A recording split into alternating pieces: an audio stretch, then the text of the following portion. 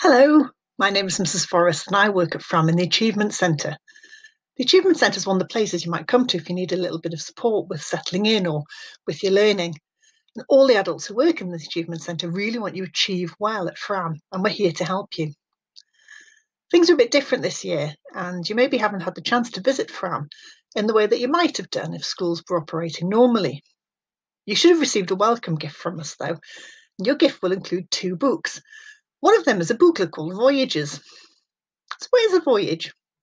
Well, it's a long journey, often made by sea. And Voyages is a lovely story about two children who are about to start their first day at Fram. One of the characters in the story, Amira, has travelled to the UK by sea, whereas the other character in the story, Kai, hasn't travelled nearly as far. At the beginning of the booklet, it tells you who wrote the story it was written by Dr. Smith, who was one of the amazing English teachers here at Fram, along with a group of our incredible Year 7 students.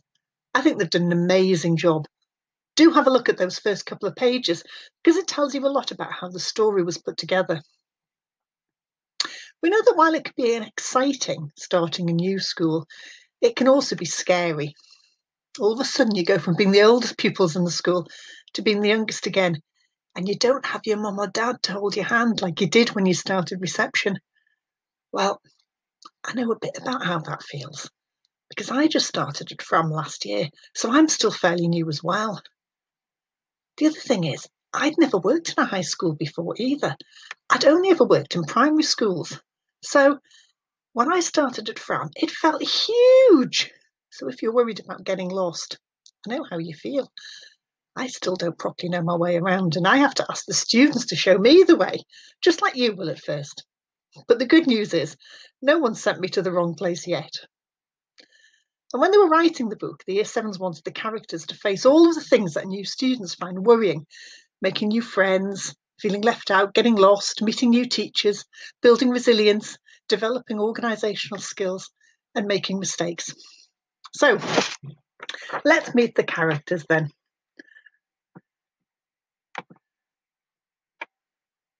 Make me a little bit smaller that we can focus on the characters Amira and Kai. And let's find out what happened on their first day at Fram. The ship's horn blared on the distant horizon as the waves crashed aggressively against the side of the dinghy.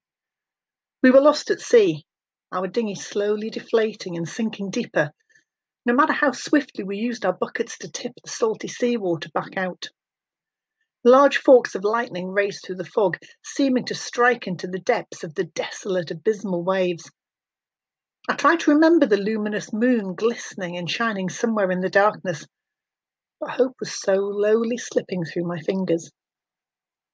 The colossal ship loomed out of the mist, its horn still blaring mindlessly into the vast blackness of the night, and we were forced to stop our venture across the English Channel. My father's eyes opened wide with the sudden realization there was no possibility of escaping now. Our only chance was that this ship would be our saviour and carry us to our destination England, paradise, freedom, safety. But the horn blared on. Someone was shaking my shoulder. Amira, wake up. It's the first day of school. You don't want to be late. I understood. The horn was my alarm clock, and today I started secondary school. As I opened my eyes, the memories gradually flooded back. The ship had fished us out of the water, and I was so nervous I could hardly move. They had given us dry clothes and blankets and something hot to drink that I hadn't tasted before. They asked us lots of questions about our journey, but I didn't really understand because the way they spoke English was so different from what we had learned from American TV my father held onto my hand very tightly. If we were separated, I don't know what we would have done. Father told them in English that we'd travelled from Syria, that we were educated and he was trained as a doctor, that we could be useful in England, that we were only looking for a safe place to live. We wanted only to work, support ourselves, and be safe. We had tracked through shattered cities and across the desolate wilderness to reach the English Channel where we had given our entire life savings to a tall Englishman in a black hoodie. He told us he would take us across the water, that it was completely safe, and we would be welcomed when we arrived. So desperate were we to believe that we had a chance of freedom, that we had trusted this man. It was only when we stepped into the dinghy that we realised we'd been robbed and betrayed. But it wasn't far to England, father said, and we were strong enough to make it, even in a leaking dinghy. As my father explained our situation to these men, I let my eyes wander around the ship. The walls were made of metal, in fact, everything seemed to be made purely of metal. I wondered if it were a prison or a Coast Guard ship. My head started pounding and I couldn't think straight. Where were we? What had happened? The loud voices grew fainter, and I realized that I was lying almost unconscious on the floor, and they were looking at me. I must have fainted. My illness was so bad that I don't remember much of what happened over the next few weeks. I'd been strong enough to survive the long trek across Europe, the half cooked food, the dirty drinking water, the fear of sitting in a sinking dinghy in utter darkness. But I hadn't been strong enough to cope with being rescued. My father has remained silent about what happened during that traumatic time. Every time I ask him about it, he just shrugged his shoulders and sighed. All I know is that one day I woke up in an immaculately clean bed in the corner of the small flat for once, there were no noises coming from outside. Father said the place was called Durham. He said he had found some work and that I could go to school now. He had smiled for the first time in months, and a wave of happiness took over my mind. Chapter 2 Kai. After what felt like the 50th buzz from my new alarm clock, I swung my arm round towards it and swept it off my dressing table. It tumbled to the floor with a giant crash, finally coming to rest among the pile of comic books that were strewn across the carpet. But my attempt to quell its piercing sound had been futile. It kept up the shrill buzzing that was summoning me to secondary school. The noise seemed to be getting louder and louder, drilling a hole through my head. So I gathered up the energy to scramble out of bed after it, finding the button that would silence the horrendous sound. I considered throwing it out of the window, but quickly thought better of it. Best birthday present ever. Not. Mum had given it to me to help me be prepared for secondary school. She kept saying the words independent, resilient, organised. And now apparently these words applied to me. What a joke! How on earth was I going to manage going to 10 different subjects, remember everybody's names, organise my homework, join sports teams, pack my school bag myself, fight my way through the dinner queue? When I went on a visit in July with my mates, the buildings were daunting, at least three times the size of my primary school. I felt woozy looking at all the staircases and corridors stretching every which way you turned, leading to classroom after classroom, I must have met about 15 teachers on the transition day, and that was only a few of them. How many hundreds of names would I have to remember? And what would happen when? Because it would be when, not if, I got lost. Mum's piece of advice number one when you start to feel stressed, shift your focus to something else. So I looked up and saw my school uniform hanging on the outside of the wardrobe. Its grey material and red striped tie were different from what I'd worn to primary school. I dreamed of the old days when I only had to wear a polo shirt. Oh, how I longed to dig it out and wear it again. It would be so much easier than struggling to squeeze my arms into a proper smart shirt with its rigid collar and grown up tie. The sheer thought of doing up the top button made me feel incredibly nauseous. Kai's piece of advice number one when you start to feel stressed about your new school, don't look at your new school uniform. I'll be honest with you though. That's mum's piece of advice number two, by the way. Honesty is the best policy. The worst thing about going to secondary school is my dyslexia. Dyslexia is when you struggle with your reading and writing, not because you haven't worked hard at it, but because of something in your brain that puts the letters in the wrong order and it can be difficult to write your ideas down quickly. Doesn't mean I'm stupid. It just means that I need more time and sometimes more help. In fact, people with dyslexia can be brilliant at practical things like technology and art. Mrs. Wilson, my year six teacher, knew that, and she always knew what to do to help me without making me feel embarrassed. But what my new teachers know, would I have to tell them all? Would I have to tell my friends? The terrifying thought of having to tell, as I calculated, at least 20 people made my mouth dry as sand and my stomach tie itself into a knot. What would people think of me? It was all too much for me to handle, and so I pulled my duvet down over me as I lay on the soft grey carpet, my face pressed against the latest copy of Spiderman. I thought maybe if I'm quiet, she'll forget. Maybe if I'm quiet, I can stay here all day and postpone my first day at school until some other time. As I heard her slippered feet climb the stairs, I held my breath, hardly daring to inhale. I heard her reach the top and turn to face my room. In fact, she was standing just outside it. There was always the possibility that she was just going to brush her teeth. She was silent. I was silent. I held my breath, and the silence seemed to go on forever. Then it came the tapping at the door. Kai, are you getting up?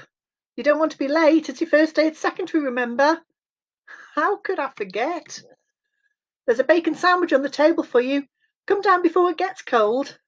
Well, at least that was something. Chapter 3 Amira. As I shouldered my new red rucksack, the weight of its contents matched the weight of my fears. Its heaviness dropped on my shoulders, knocking me into reality. This was it, the day I would have to face my worries. As I walked towards the front door, a shiver shot down my spine, and I felt myself trembling. I was a baby learning its first steps. Embarrassed about being anxious, I didn't want Dad to walk me to the school, so we decided to practice several times in the week running up to the big day, tracing the steps together, first him leading, then me taking charge. I'd thought about how much I missed the familiar streets of home. England was so bland. Everywhere I looked, everything seemed the same. Lifeless brick house after brick house, pitch black tarmac pavement following on from monotonous grey concrete paving slabs. Where were the smells and sounds of busyness and life? I remember going to the bustling market at home, all of the people and the colours and the smells. But I forced that memory back into the dark recesses of my brain. Better to focus on the present than the past. I could walk the way to school with my eyes closed, and now it was time to go. I opened the front door and stepped out onto the street. It was only a few minutes' walk to the school, and as I got closer, I started to see more grey clad bodies bouncing nervously along the pavement. Some were alone, some in clumps, some with a parent. Almost every one of us was silent with nerves. Our shared anxiety seemed to make an electric force field in the air, repelling all laughter and conversation. Then there was the huge green fence towering over me, tall strips of metal reaching up to the sky.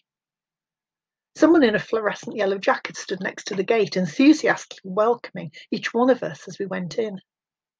Silently, I nodded back. The winding path curled through some trees whose branches swooshed gently in the breeze. The grey gravel of the yard spread out in front of me. I hadn't realised that I wasn't crying until it was too late.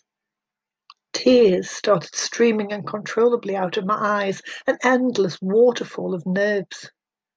The dread and despair I, that had been building up over the last few days suddenly opened, and a black hole inside of me. I knew I should stay strong, but I just couldn't manage it anymore. I turned and ran. I'm very good at running. And so I ran and ran, my eyes fogged with tears and my heart pounding with panic. The next thing I knew, I hit something. The impact threw me to the ground, and the whole world seemed to take a step out of time. Stop. Breathe. Count to ten. I was lying on the floor amongst rubble, listening to my father's ragged sobs. We had to get out of there. We had to be strong. I took his hand and told him it would be okay. I opened my eyes. The world slipped back into time, and the teacher in the fluorescent jacket was peering over me. Over me and a pair of skinny legs sticking out a bush beside the path. The legs waved and kicked wildly in the drizzle.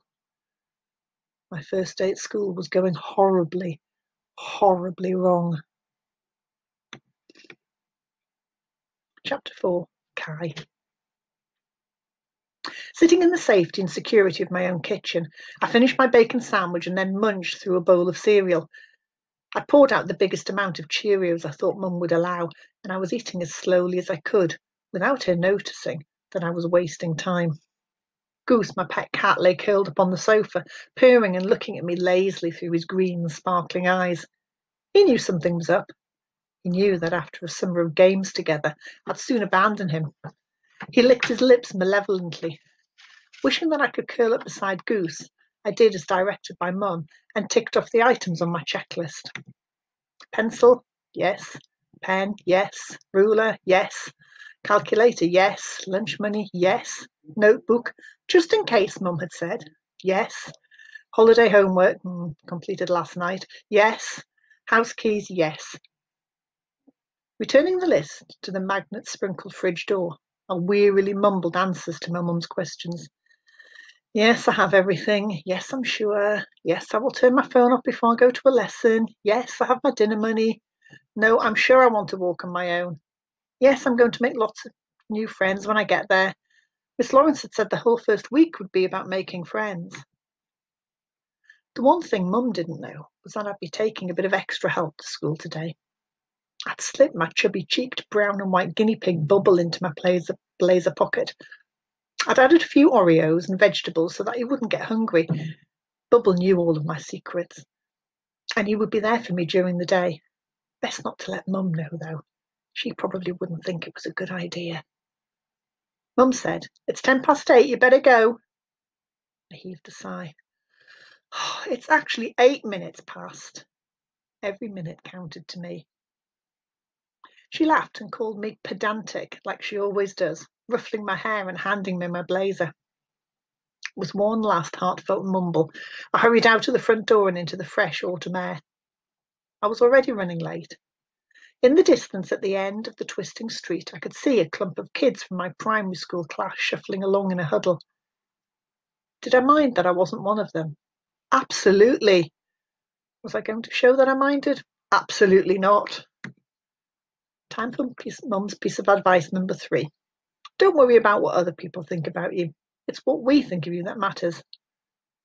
Time for Kai's piece of advice number three. Say yes to your mum and don't cry. Crossing the road, I ran quickly down the other side, listening to my footsteps echoing. That was my greatest skill, sprinting. I'd won every running race all the way through primary, and I'm on the county team. Running makes me feel free, as I concentrate on every step, I feel the warm breeze sweeping my anxieties away. I'm able to ignore the outside world. Across the road, I could see the school's green fence with the branches of trees sticking through. As I passed the other Year 7 students, I noticed that turning into this road was like walking through an invisible barrier. They all felt silent. Without a word, they walked along the fence and approached the gate. A teacher in a fluorescent yellow jacket stood there greeting the students as they entered and telling them where to go. I think it was Miss Lawrence. I'd seen her at the transition day back in July. Panic gripped my whole body, and I acted like I didn't care. But really, I did. I just wanted to isolate myself from everything and everyone, preferably somewhere I could lose myself in the world of comic books. So I sprinted as fast as I could past the teacher, ignoring her shouting, You don't need to run, slow down. Where are you going? Then everything happened very quickly. I was aware of a small girl with a tear stained face sprinting the other way at full speed. I was aware that she wasn't looking where she was going and that I was running too fast to change direction. I was aware that, like me, she was very good at running. I heard my feet slapping against the concrete path. I heard my breath in my lungs. I felt the blood pounding in my ears. I felt my school bag bouncing on my back as I took another step, and I felt the impact of her shoulder as she flew into me. The next moment, our combined momentum propelled me sideways, and I saw the prickly branches of a bush travelling very quickly towards my face. I desperately hoped that bubble would be okay in my pocket. My nerves were quaking and my heart was pumping while my whole body shivered with surprise. The force of the impact had knocked me into oblivion. Okay, so maybe I'm exaggerating, but it definitely knocked me into a bush, and I ended up with my feet flapping helplessly in the air. What an entrance to my new school! Kai's piece of advice number four don't run into a sprinting, crying girl on the first day of school. You've probably guessed who Kai's bumped into. Talk about making an entrance. I'm going to leave the story there for today. Join me again soon to find out whether Amira and Kai's day gets any better. Surely it can't get any worse. See you soon.